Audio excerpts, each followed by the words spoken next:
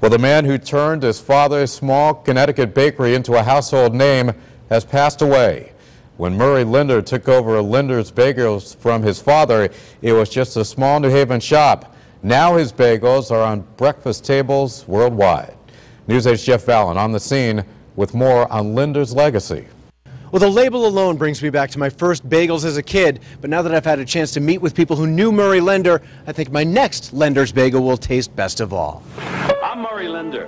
On bagels, I'm an expert. He was a lender by name, but those who knew him say he was a giver by nature. To so many people in this community and throughout the world, actually, but particularly our community and our synagogue. Murray Lender helped build a family empire by turning the bagel, an ethnic edible, into an ecumenical staple. Bagels were not, you know, nationwide. Bagels were really, you know, kind of local, and they, they made the bagel uh, you know, kind of a national phenomenon, and it's, and it's way beyond being Jewish or any other religion. I mean, bagels are eaten by everybody around the world. But his family's philanthropy is legion. A testament coming in 2007 with the dedication of this playground at the Daniels School in New Haven, the very spot where the lender's first bagel bakery stood. At some point, he came and he talked to our eighth grade classes about the Holocaust which coincided with their first trip, our first graduating class um, trip to Washington, D.C., when they visited the Holocaust Museum. The only thing as big as Murray Lender's heart, his funny bone. He had a phenomenal sense of humor.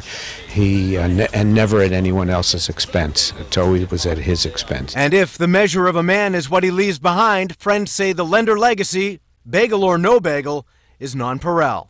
They never wanted headlines obviously aside from the bagel, but they but but they wanted to be kind of in the background, helping the community. We, we have so many you know tremendous programs and so many things going on just because of the generosity of the lenders. A service is set for 2 p.m. this Sunday at the Congregation B'nai Jacob Synagogue in Woodbridge. For information on donations, check out our website, WTNH.com. On the scene in New Haven, Jeff Vallon, News 8.